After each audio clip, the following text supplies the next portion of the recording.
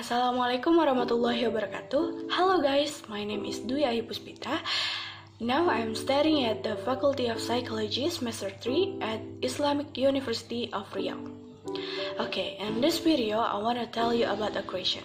And before I explain it, I want you to know about aggression and this question is what is aggression?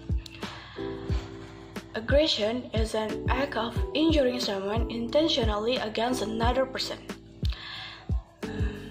Now you know about the basic of aggression, and right now I wanted to explain to you about the reason why someone have aggression. First, because social. Why? In social life, when you fail, you feel sad and disappointed causing acts of aggression.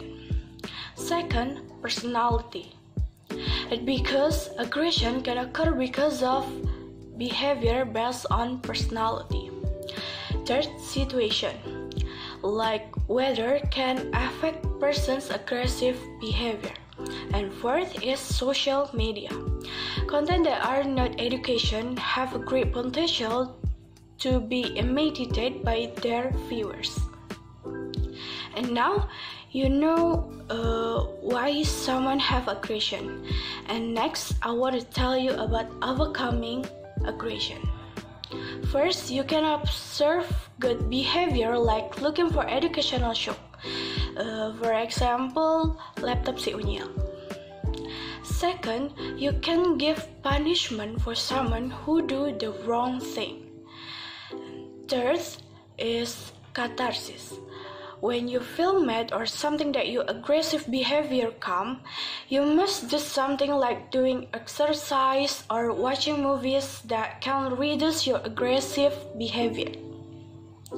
And last but not least is cognitive. Like forgiving someone who make you mad can make you feel peace with yourself. Okay, that's it for me to explain about what is aggression, why people have aggression, and overcoming aggression. Hope you like and enjoy my videos. Thanks for watching. Don't forget to like and comment and sus- subscribe this channel to get more information about psychology. Okay, bye. Assalamualaikum warahmatullahi wabarakatuh.